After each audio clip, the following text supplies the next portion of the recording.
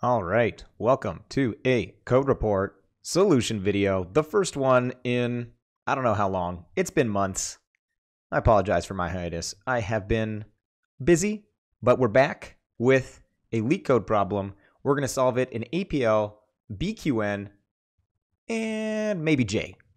And we're going to look at some solutions in, I don't know, Java, Python, whatever the top solutions are on this LeetCode problem. So problem 2482, difference between ones and zeros in row and column.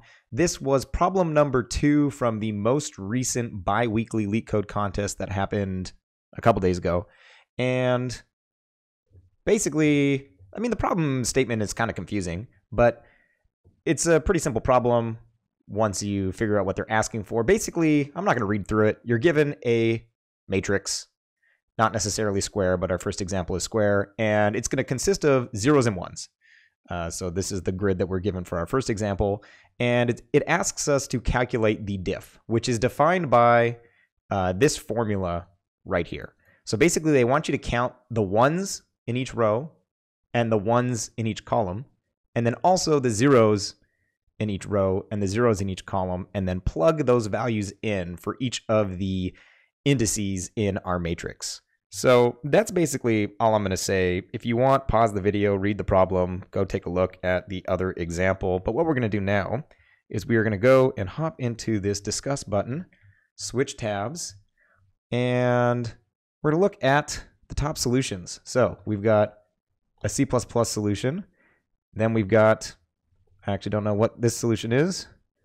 And then we got a Python, uh, Python solution. And then we got a Java solution. So let's Take a look at those if I click those links correctly. First one, C++.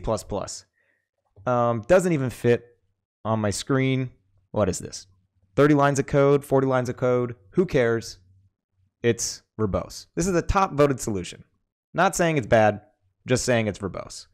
Moving on to top solution number two is also a C++ solution, as you can see by the vector. This one is a lot more concise, but still uh, still pretty verbose. What is this, 15 lines of code or something like that? Moving on to, I think it was the Python solution next. This one about as long as the C++ solution we just looked at, but a little bit shorter and obviously more terse because Python is a more terse language. So it's about 10 lines of code. And last but not least, we have a Java solution which looks to be the second longest at roughly 20 lines of code. Who knows, plus or minus. The point is, all of these solutions are verbose. Once again, not saying they're bad, uh, they're just verbose. So let's go take a look at how to solve this problem in APL. Here we are in our RIDE editor. Link in the description for a video on how to install this on your computer if you'd like to get started. I know it works on Windows and Linux. I think it also works on Mac, although I have not personally tested that. And we have our first example already typed in here. So we've got our three by three matrix called grid, and then we've got our result of we, what we want this to be equal to. And just for the purposes of this video, we've got our formula here, uh, ones row, ones call, zeros row, zeros call, and I'm just gonna refer to these as A, B, C, and D. All right, let's get started. So let's zoom out maybe uh, a tiny bit. And so we've got grid. We want to count the ones in each column and row. So first let's do rows. We're going to use the uh, row-wise reduce operator with plus, and if we do this with grid, we're going to get 2, 2, 1, because those are the number of ones in each row.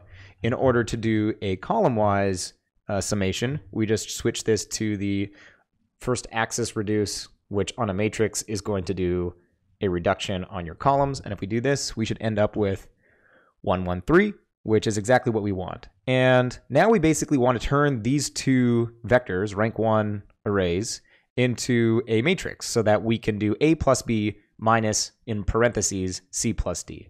So the way I think we want to do this is just by, and we'll do this sort of verbosely to begin with, and then we will obviously shorten this up afterwards. So we'll put some unnecessary parentheses here. And if we do an outer product summation, if I can type correctly here, we should get, I think, what we want. And yeah, This is what we want basically. And in order to do C and D, all we need to do is negate, or not negate, uh, take the not. So turn all the ones into zeros and zeros into ones. And this will basically give us what we want. And I think, so if we take a look at what diff was, if we go back, copy and paste this, and just hit enter, and then we put this all in parentheses, and then just subtract that. Boom. We so this is how you solve it. So you might be thinking, wow, that is very di- disgustingly verbose. Um, I mean, it's short compared to the Java, C++, and Python solutions, but there's a ton of redundancy in here that we can get rid of. So first things first is if you've watched other of my videos, we have sort of, you know, two unary functions, aka the reductions, and then an outer product, a binary function in the middle. So we can refactor this stuff by deleting grid from here and just having basically one grid. And now I'm missing uh, parentheses. So that's the same answer. And we can go do the same thing over here, except now we're going to refactor out the not grid. And that should work. Uh, that did not work because we still have a not hanging in here. This will work. All right, so now it's a little bit shorter, but we still have so much repeated code here. We basically got identical code. The only thing that's different here is the not. And so because this is common, we basically can use a combination of the phi combinator, aka a fork, and the psi combinator, aka over in APL, to do the following. So we want a minus after applying this on each side, and then We still want the minus there, and then we want identity. So basically what this will do is it'll create two different grids.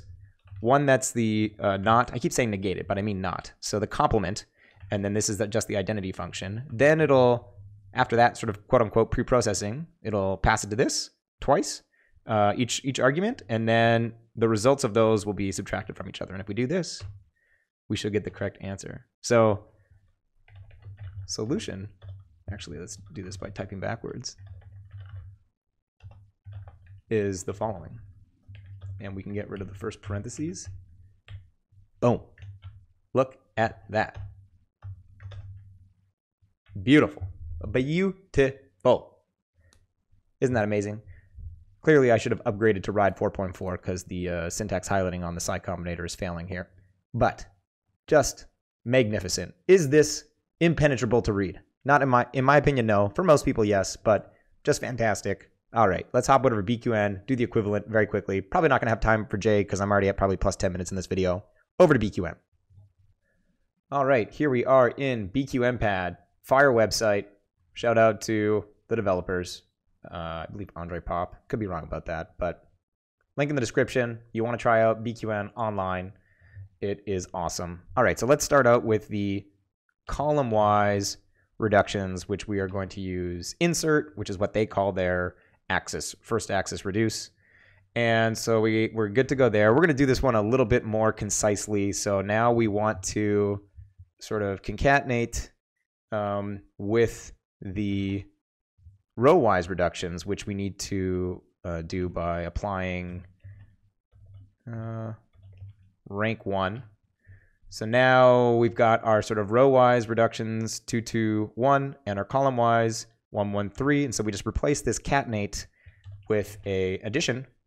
And that's actually not what we want to do. We want to do an addition outer product, which is going to be this little table. Technically, they they call their outer product um, table, which is this guy right here. So this is the equivalent of what we had in APL. And so now we want to, once again, turn this into a fork, a phi combinator by putting the complement on one side and then the identity on another side. And then we just want to throw in a psi combinator with a minus. Boom, we're done. Look at that. Look at that, folks. Goddamn. I shouldn't swear. Sorry. Apologize to the children out there, but it's just so beautiful. And I mentioned that there are more combinators in BQN than there are in APL. So when you have a phi combinator, aka unary function, binary function, unary function, and one of those unary functions is the identity function that actually corresponds either to the S combinator or the sigma combinator. So if we delete this and instead put the S combinator, which is this guy, boom, we get the same answer. So same number of characters, but technically the S combinator is a more specialized combinator than the phi combinator. So I prefer that here. So we're making use still of a phi combinator in, in here, and we're making use of the psi combinator here, the S combinator here, and all of the beautiful reductions, functions. It's just amazing. All right, we're wrapping up the video there. J solution, I'll link in the show notes if people want to go check that out. BQN, APL, awesome. Why write 30 lines of code in Java or C++ when you can write these mind-blowingly beautiful combinator array language solutions? Have a great day, folks.